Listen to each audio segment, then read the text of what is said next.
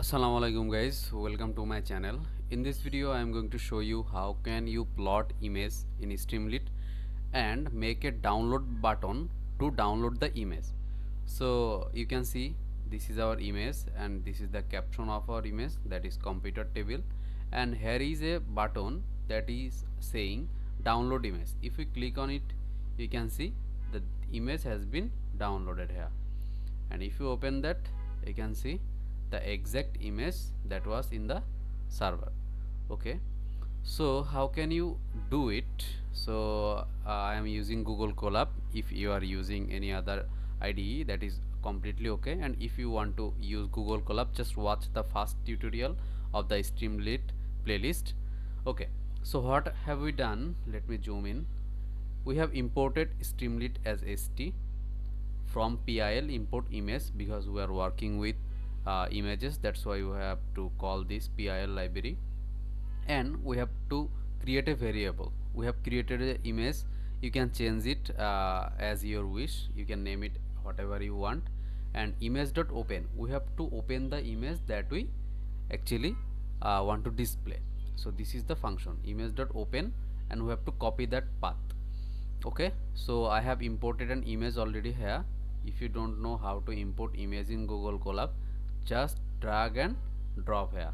It will automatically uh, will be uploaded here.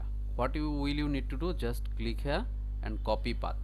And you have to paste the path. Okay.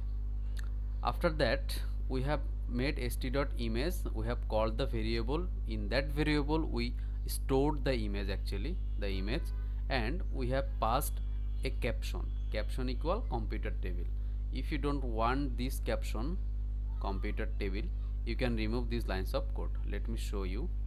If I remove these lines of code.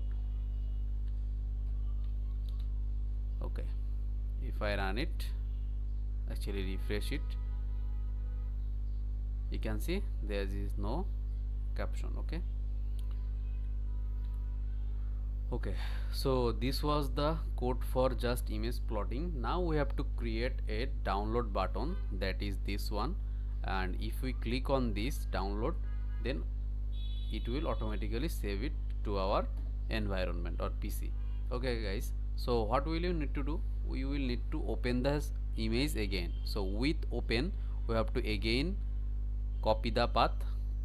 We have to paste the path here and after that we have to make it read binary form rb means read binary okay as file.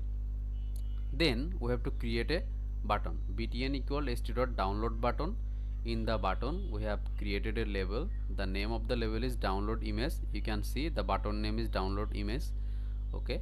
And we are passing the file here okay guys. And file name here you will also need to copy the path and paste here and mimi equal image that will be in png as we are using png format.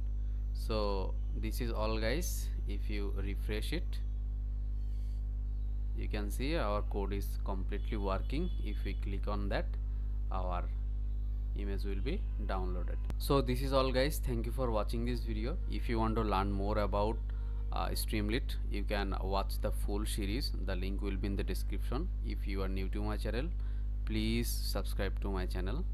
Thank you guys